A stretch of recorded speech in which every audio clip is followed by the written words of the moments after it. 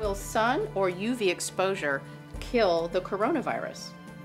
The first part that we want to answer is if I'm already infected with the coronavirus, can exposure to the sun or ultraviolet light help me to cure my coronavirus infection? So the short answer to that question is no.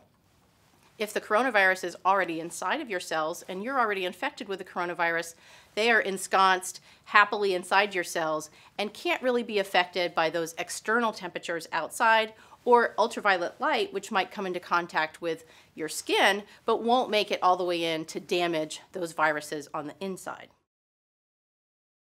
The second part of this question is, will UV light or sunlight damage coronavirus on external surfaces or items? Or what about the surface of my own body or my own clothes?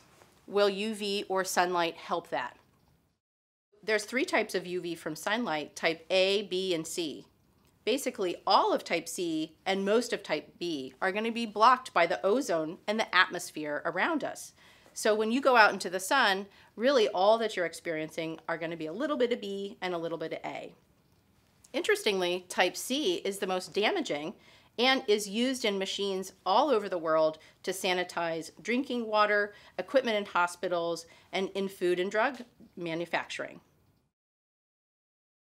So the answer there to the overall question is that yes, UV light and sunlight um, can kill coronaviruses on surfaces. It can't kill it when it's already inside of you, but maybe emerging technology may help us to kill coronavirus contamination on our hands or on other types of surfaces like our clothes. This kind of technology isn't really widely available right now, but it's something that you may see very soon in the future. While taking a short walk of 10 to 15 minutes during your lunch hour is great to get your steps and to take a little bit of sun, Extended periods of time in the sunlight or UV radiation is not recommended.